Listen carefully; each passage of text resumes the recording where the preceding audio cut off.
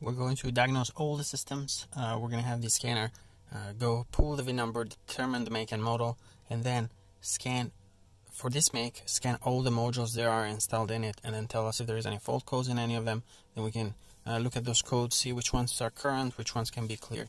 Uh, so, and then we're going to look at some of the key modules like the ABS, engine, and transmission. So, uh, let's do an auto scan, and you want to make sure the ignition is turned on, but you don't need to start the car. But do keep in mind that if you were going to uh, diagnose for a long time, over you know 10-15 minutes, you might want to connect the charger to the battery. Uh, so we'll go auto scan VIN here, and this should pull the VIN number from the vehicle. So what you do is come here to quick scan and press OK. And what this will do is is going to go through all the modules that this make could possibly have, and then we'll scan any of all of them and it will tell you if there's codes, if there's no codes. If a module is not installed on this car, then it'll just skip it. So you're not going through modules that the car doesn't even have. So here it's going through all different uh, modules. Now it's going through airbag. So you can see here it's scanning for 4 out of 59. Um, it's not going to have 59, but this model could possibly have 59 modules. Um, so it's only going to show the ones that are installed here. And you can see there the tire pressure monitor has one fault. So far the other ones have no faults at all. Um, but this this process takes a few minutes and then you can scroll and go to that particular module that has a fault. You can read that code a lot of times. You'll notice that one code it might be stored in multiple systems. So for example let's take a bad abs uh, wheel speed sensor. You'll have a fault code for that. Um, you'll have that um, in the abs module. But if that code also triggered let's say it caused the car to go into a limp mode not usually but it can happen then you'll see that there is a fault code and transmission module that also points to the ABS sensor. So a lot of times some of these codes that might be the same issue might have triggered different codes. Um, and, and usually if you read the codes you can see that they're all pointing to the same faulty part. Here we're finding more uh, fault codes here. This uh, driver SAM module um, has six six fault codes and it's only at 16 out of 59 so we're gonna have to speed this up a little bit.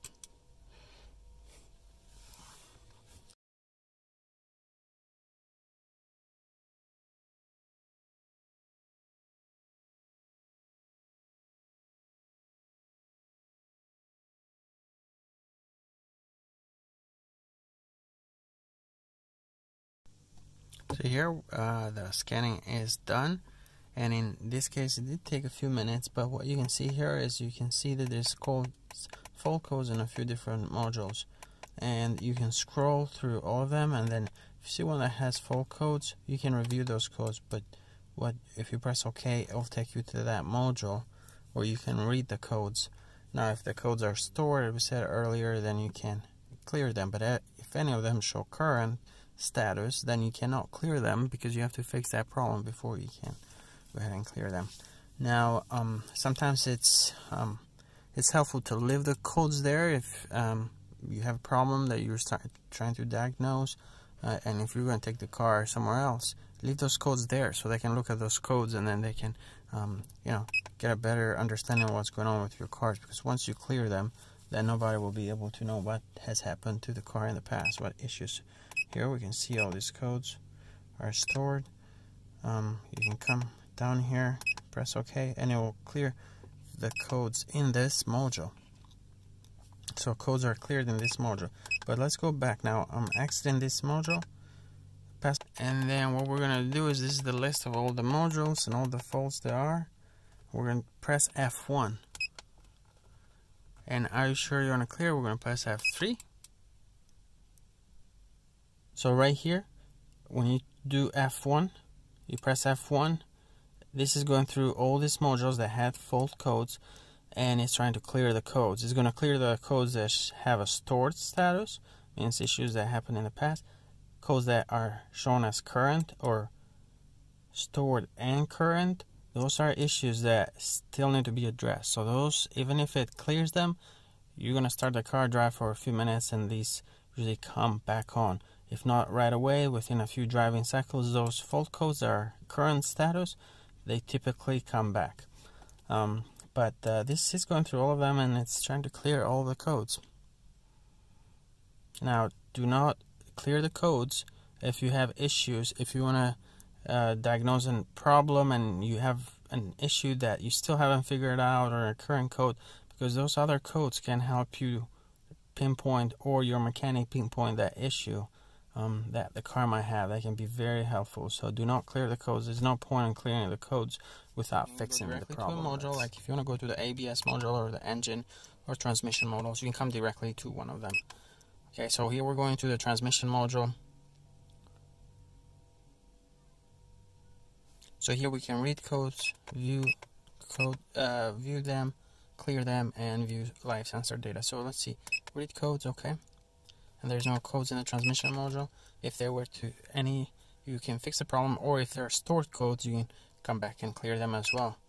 Okay. So what you can do also, you go to live data, and then here you can do oil level check, speeds, transmission gear change, and you can see like different um things that you can do check the start operation you can check uh, move the shifter and see the gear position different things like that. So you might have to start the car here to um to see these values. So you can see for example actual gear park. Now we go neutral. You can see how it switches to reverse. And drive. And um, you can see transmission oil temperature right there.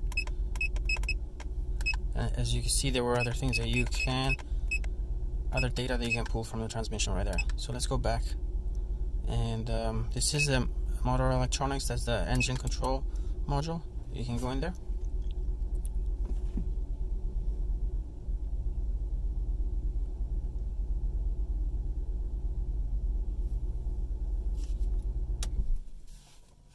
and then we can read codes from this module as well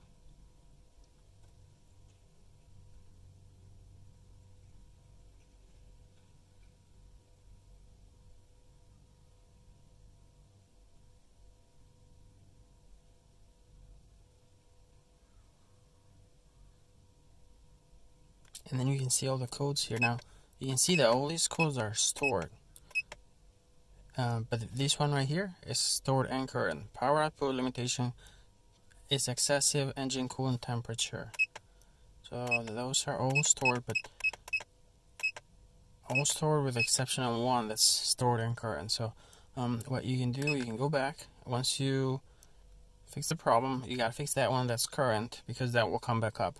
Uh, but once you do that, you can come here, press clear codes, and that will erase the codes. You can also do live data, and that will pull sensor data from the um, engine control module, and you can see here. You can also see drive authorization. That's important. Like you know, if your car is not starting, you can see if the key is being recognized and the brake pedal is pressed, and different things like that.